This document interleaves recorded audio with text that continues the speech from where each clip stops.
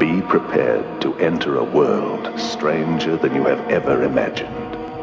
The world of witchcraft, magic, and ritual.